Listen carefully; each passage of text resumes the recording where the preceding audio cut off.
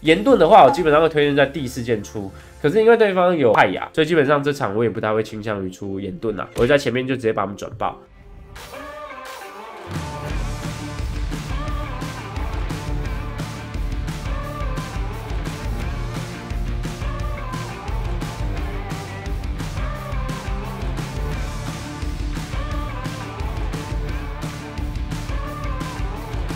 嗨，大家好，我是 Y R，今天带来传说之剑的实战。那这一场的话，我是四十二名，然后我的队友这边都没有挂名次，代表对面有可能有挂名次的，所以这场打的话要非常非常的小心。在看这一部实战之前呢，记得帮我频道按下订阅。这一局的话是对方先选了夜叉，所以我们直接套出了美娜。美娜打夜叉的话呢，大家应该都知道。那我这场带的是爆裂束甲，全出防御装就打得赢了。正常来讲的话呢，应该是会先上一个护卫军战盾啊。虽然护卫军战盾有被 nerf 掉，但是我还是会出，然后再来就出一个仙灵吊坠，先降个十八 CD。后面的话呢，你可以选择上个圣骑战盾，让你的 CD 更缩短，或者是你要上研磨战甲，增加你的清线的能力也可以。那或者是你要上冲锋战甲。岩盾的话，我基本上会推荐在第四件出，可是因为对方有派雅，所以基本上这场我也不太会倾向于出岩盾啊，我就在前面就直接把他们转爆。那一开始清完兵线之后呢，如果夜叉跟你硬 A 的话，你就跟他 A。清完第一波兵线，我就直接过来这边骚扰他们家的野区嘛。哎呀，可惜。哎呦，哇，这女超很高哎，他死定了，赚了一颗手杀，杀掉对方中路之后，我们就往上靠。然后那个夜叉也蛮会的，他就先拉了一下苏哈，降降低我们的效率啊。这里勾一个，控一下，没问题，继续扛伤，开了一个恢复转，冲过去再转，跟到距离，主要是我们的一技能距离，一技能距离有中的话再转。然后打夜叉的话呢，记得记得记得，夜叉会有什么二技能减伤，你的这个一技能被动叠满的时候呢，要在什么时候释放？在夜叉的减伤结束之后释放。夜叉一开始的 CD 量其实是不够高的，所以你不会有这种情况，就是他一直有减伤的状态。我这里先反了一个小野，因为我想说那个女超应该是扛不住吧。我们家的人有人，所以他这个死掉我是有点尴尬，有点抱歉的。哦，我我我打传说之巅我是打的比较自私啊，说实在的，这边我不会去想说队友怎么了，我就一直靠队友，没有没有这回事，我会顾好我自己的状态，顾好我自己的经济。像我刚那边，我就想说他应该是可以拉得掉，所以我就没有先选择过去，那就是比较抱歉了。不过这样子，我等于是偷了对方的一只小野怪，对方的打野也是少了一只。然后呢，我们的女超死掉了，但是呢，我直接把这个双 buff 给收回来，所以我觉得很开心。现在战绩二零二，走到中路去。对方两个人不要给笑，这个时候不要给笑。你又想说你自己是无敌的战斗陀螺，你冲进去你死定了。那个夜叉如果关下去的话，刀锋是有可能把你打死的。刀锋现在的伤害量其实很高，他只要在前期先上了一个红刀，基本上他二连刷下去是很痛的。有时候可能夜叉的二技能开完之后也扛不太住刀锋的二连刷，所以要注意。你看这边两个人。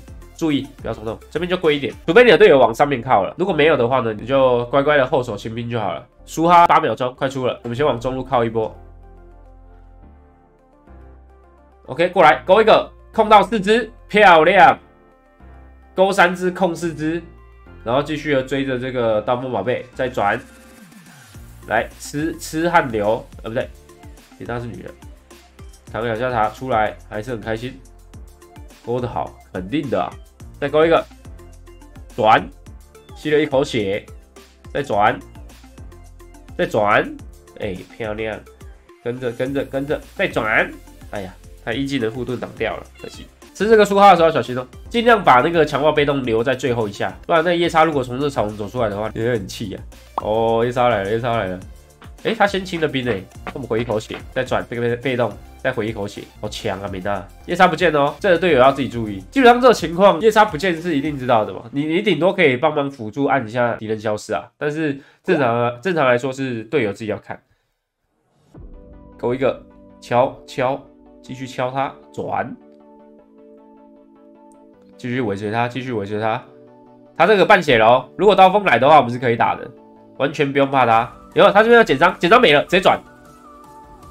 OK，杀掉。刚刚有看到吗？他那个二技能减伤，它上面不是有一个条？你知道那个黄条快结束的时候呢，你再转它，这样就对了。如果你在它黄条还在的时候就转，你不要看到技能就按哦。我跟你讲，美娜打夜叉，夜叉是可以干爆美娜的。只要你不会玩的话，你随时会被干爆。之前玩夜叉，我跟大家讲过嘛，打美娜的话呢，就是要直接上那个龙骨剑啊，用那个小精灵直接丢丢丢把它丢死，然后后面再上那个巨魂刀。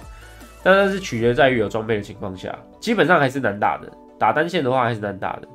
我们走过去，然后诱惑看他会不会关我，结果他没关我。那如果关我的话，那个炮车会继续射他。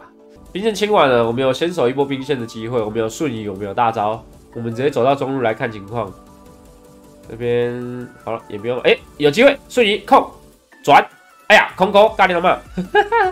好烂，特里希有死就好了。其实他们都没有做换线的，他们应该让泰雅来打我，然后让夜叉去扛，应该是会比较好。我不知道为什么他们都不换线了。之前有跟大家讲过，分数比较高的战局的话会换线，因为你换线你一定是很好打的。但这场我不知道为什么，我就这样子从头到尾对了一个夜叉，哎，我就这样子准备要赢下这一场，哎，我觉得很开心，哎。好，注意看小地图，兵线清完，上路刚刚那边打了一波，后期带线的话要小心。美娜打夜叉的话，最难打的是在中后期的时候，中后期的时候你一定要注意好自己队友的动向，在你的队友在旁边的时候呢，你再往前。如果你一直单纯的想要去带线的话，很容易你可能会不小心被绑了一个，然后对方的人就直接无情的暴打你，你就会直接不见了。我们要先把兵线给清掉，刀锋在上路，下路兵线要准备压过去了。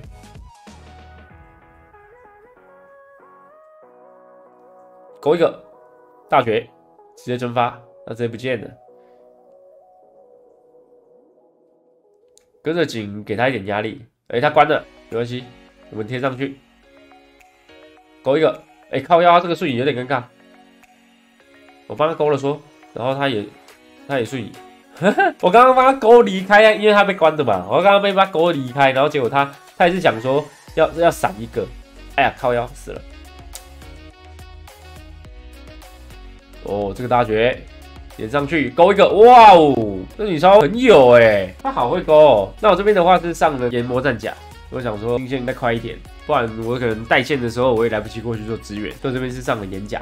好，吃完凯撒之后，我们就是要积极的去找对方的夜叉，因为锦如果对到夜叉的话，他也是不好带线的，所以我们还是要一直的去帮忙边线上的处理。